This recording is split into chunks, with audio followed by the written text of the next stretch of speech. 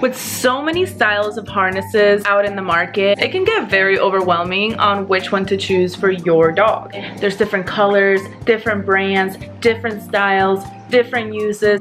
And in this video today, I hope to bring you some clarity on some of the most popular harnesses, what their purpose is, and some tips on how to spot the good ones so you can make a good decision for your dog. Am I on the floor right now with my dog? Yes, because that's the only way to get him on camera.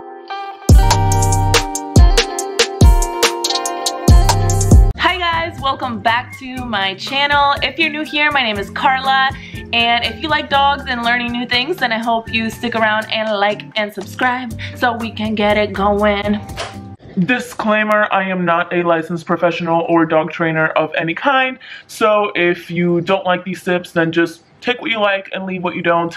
And let's get to it. Starting with category number one, everyday harnesses. And what does everyday harnesses mean? A harness that can be reflective, a harness that is easy to put on, a harness that is comfortable for your dog, and has a one-click feature. Here's Echo trying to make an appearance. All right, let's get on with the video. Okay, now that I'm back at the desk and not on the floor with the dogs and everyone has made an appearance, let's take a look at some examples of everyday harnesses.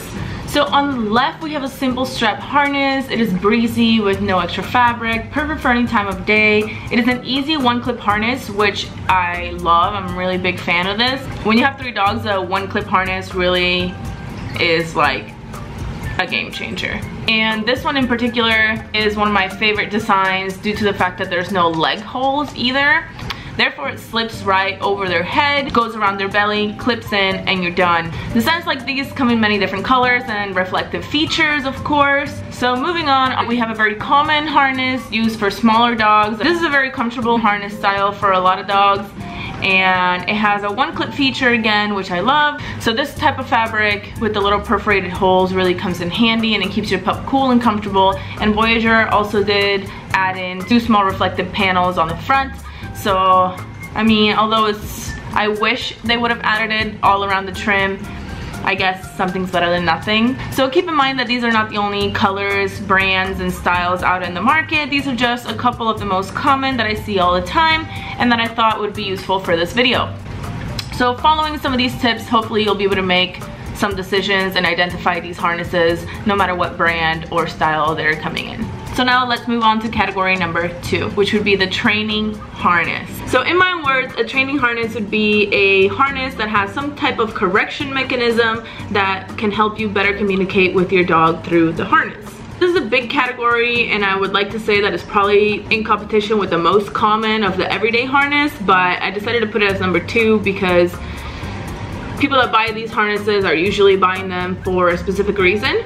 And so let's take a look at some of the most popular training harnesses on the market and how to identify them if you're going to be getting a training harness. Starting with a very popular design from PetSafe, their Easy Walk harness features a very similar look and feel to the previous everyday harness we just spoke of with minimal straps and fabric. However, what makes this a training harness is the patented cinching mechanism at the front that applies gentle pressure on your dog's chest when he or she pulls on the leash.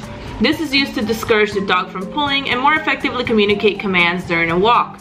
The strap going across the front of the chest is also a good design to deter pulling. Also, it is very common to find that training harnesses feature a front leash attachment option, and this is so that when your dog pulls forward, the leash pressure will redirect the dog to turn around or at least lose some balance. So this next design is very unique, but it applies some similar reasoning for the training feature that they offer. This concept is widely used by dog trainers all over the industry, and it's the concept of leash pressure or spatial pressure pressure. In a sense, pressure is bad and your dog learns that concept and so releasing that pressure would be considered the desirable action. With this design, as the dog pulls, the leash that runs through the harness will get tighter on all sides. It is a minimal design like before and I think it would work best with smaller dogs that are more suited for top leash attachments due to their height there's this design which I feel like has been all over the internet in my opinion and I think it went like a little bit viral based on the fact that you can customize this type of harness very easily and so this is a much simpler style of training harness and I was very skeptical in even putting it in this category but I know that a lot of consumers do use this harness as a training harness and for some reason it has gotten really popular in the market. So let's go through it and see what we can find here. This harness doesn't technically have any kind of mechanism to correct your dog. However, this style of harness has been widely used by consumers, as I said, as a no-pull harness due to the large strap in the front that goes across the chest and as previously stated, I believe the smaller strap is more effective, especially when the clip is at the front of the pressure. The one thing I do love about this harness is that it has great visibility with large reflective padding and works especially great with bully breeds, bulldogs, and other large and wide-chested dogs. I also love the handle at the top, which can be useful as a traffic handle. However, the large ring attachment at the top offers too much movement, so I have seen with smaller, skinnier dogs that that movement causes the whole back panel to move and kind of rub on your dog and it doesn't give you a snug fit. So just keep that in mind. Lastly, we have a third category, which is the hiking slash adventure harness. So what I consider a hiking slash adventure harness is a harness that can be secure, that is going to work well in all types of weather, whether you're going in a cold climate or in a warm climate and most of all that it's going to be functional for the type of adventuring that you're going to be doing. So let's take a look at some examples. So this is my favorite outdoor adventure harness from Chai's Choice. It features a very useful low profile handle that won't get stuck in branches and lets you be able to get your dog out of water. It also offers reflective trim around the entire harness which really comes in handy when you have a brown dog in the woods during the fall. That's happened to me before and I was very grateful to have a very bright neon harness. I also particularly love that it has two leash attachment options at the top or in the front which this also lets you put identification tags on the one that is not being used. Lastly, it holds up great to water or hot weather which is particularly convenient for me because I live in Florida. The mesh padding stays wet pretty long, which can keep your dog cool during the summer, or if it's the colder months, it does stay dry and is pretty wicking as well. It also does not stretch or lose its shape when it's wet, so it's always a snug fit. Then of course we have tactical vests like this one from One Tigris that again features similar things as the last one. The low profile handle, the multiple clips for security, breathable, comfortable fabric, and multiple leash attachments. And what is unique about this one is that it has that bungee string going across the top that can hold smaller items like poop bags or other things.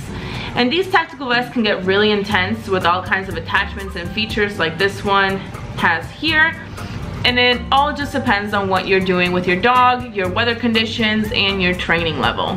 So those were some of the most common categories in dog harnesses listed out for you and some tips to help you identify them out when you are at the store or online. By the way, all of these harnesses are available at Chewy. That's the website I was using. So if you're interested in any of them, you can easily find them in the first or second page of Chewy if you just type in harnesses. I also would love it if you guys leave a comment below with your favorite harness and this can actually help other people looking for harnesses if you have a similar dog. So leave your dog type, leave the amount of weight your dog is and your favorite dog harness and hopefully if anybody else is looking for similar items for their dog and they have the same breed then hopefully it can help you out below in the comments.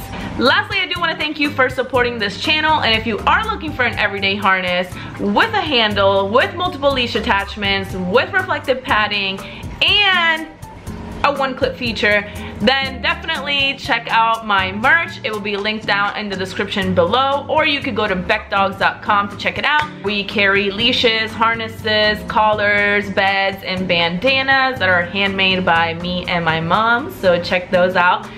Uh, we are on Shopify by going to bekdogs.com or on Etsy by searching bekdogs as one word. So if this was helpful, I highly appreciate you liking this video and subscribing so that you can hang out with me another day and learn new things and talk about dogs because, I mean, what is life without dogs? And with that said, have a good day, y'all. Peace.